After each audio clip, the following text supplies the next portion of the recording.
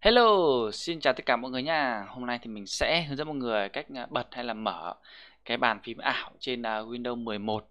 Thì đây, bàn phím ảo Windows 11 đấy. Khi mà chúng ta bật ấy thì nó sẽ hiển thị ở đây luôn này. Hiển kích vào và sử dụng thôi. Nó tiện hơn. Thì cách bật đấy chúng ta sẽ vào như sau nhá. Kích vào mục à, kích chuột phải vào cái cái thanh start này, thanh tab 3 này. Chọn là tab 3 setting. Hoặc là mọi người có thể vào cái mục à, start Windows này cũng được này vào cài đặt này. Và mục uh, personal uh, này. Kéo xuống phía dưới chọn là uh, 3 đây thì cũng như thế thôi. Thì mọi người sẽ kéo phía dưới này mặc định nó sẽ tắt đi này. Thì ở đây sẽ không có đúng không ạ? Mọi người sẽ bật lên. Thì nó sẽ có đây và sử dụng nó tiện hơn là ở trên Win 10 hay là Win 7 bây giờ chúng ta chỉ muốn sử dụng ấy chúng ta chỉ cần kích vào đây thôi. À, thay thế khi mà bàn phím nó bị liệt một số nút ấy chúng ta có thể sử dụng bàn phím à, ảo.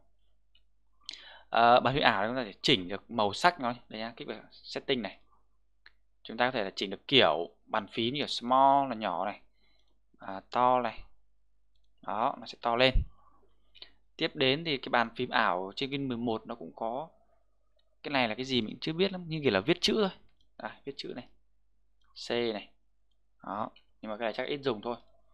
Mình chọn lại cái này nhá tiếp đến là có thể thay đổi màu sắc này gem này. Mọi người có thể thay đổi uh, to hay nhỏ này. Đó nó to hay nhỏ theo ý của mình. Bây giờ sẽ là màu sắc nhé. Màu trắng này các kiểu nữa này.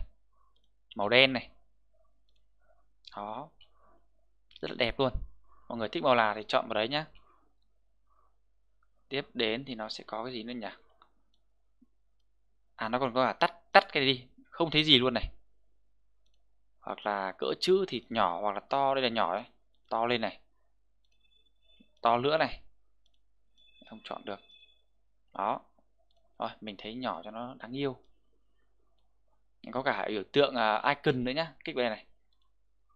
Đó biểu tượng icon để chúng ta chat trên face cũng được này. Zalo icon này. Đó rất là hay. Thì uh, cái bàn phím ảo của Win 11 bây giờ nó khá xịn sò nhá. Ok, thì như vậy là mình đã hướng dẫn xong cho mọi người cách bật cái bàn phím ảo trên Windows 11 để mọi người có thể sử dụng nhá. Thì mình xin kết thúc cái video tại đây. Mọi người xem video thấy hay thì nhớ cho mình xin một nút đăng ký kênh, một nút like, một nút chia sẻ để ủng hộ mình nhá. Xin chào và bye bye.